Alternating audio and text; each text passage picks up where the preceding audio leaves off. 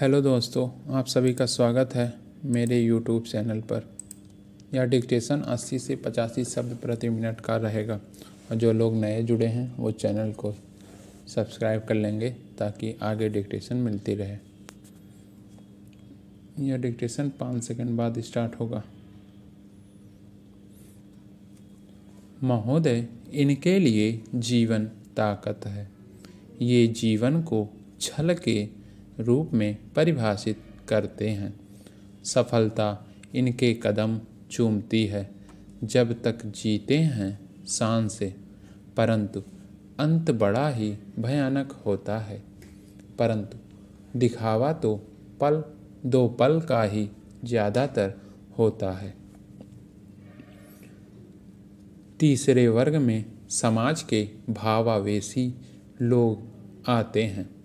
इनकी संख्या इन दोनों से कम, परंतु बहुमत में ही होते हैं।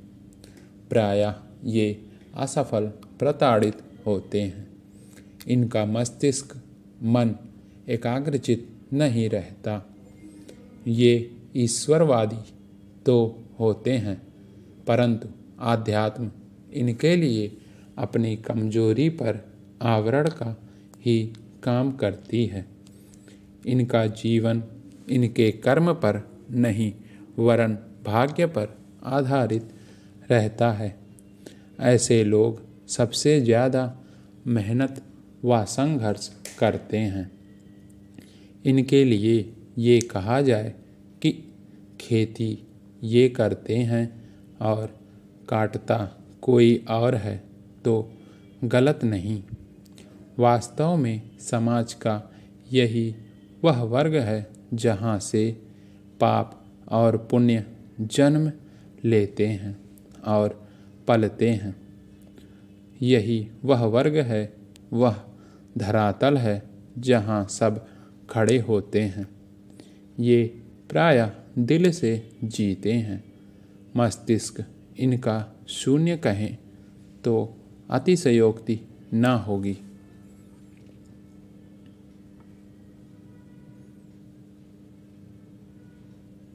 जैसे ईंट के भट्टे में खंजर, टेटा खूब पका निकलते हैं, जिन्हें नींव में डाला जाता है। यह तबका वही है।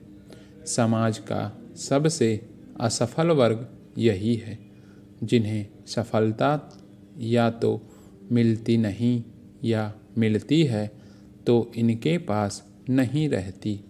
इनका पूरा जीवन दुविधा में गुजर जाता है।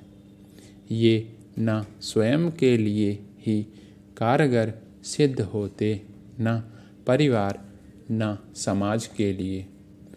बस इनका स्थान कुरुक्षेत्र के मैदान की तरह है, जहाँ हर अस्त्रों का प्रयोग लोग अपने अपने तरीकों से करने को स्वतंत्र होते हैं।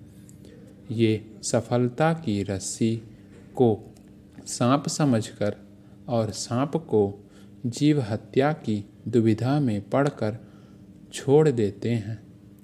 पूरा जीवन पाप पुण्य, भला बुरा, उचित अनुचित, कर्तव्यहीनता के बारे में सोचते बिता देते हैं।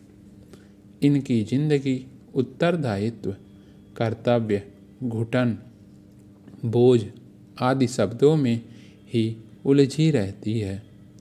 समाज का यह वर्ग जिनके द्वारा किए गए प्रयास या भूल या कार्य से जहाँ समाज एवं परिवार के अन्य लोग व्यक्तिगत या सामूहिक रूप से लाभान्वित होते हैं, वे स्वयं में एक असफल व्यक्ति के रूप में जीते हैं।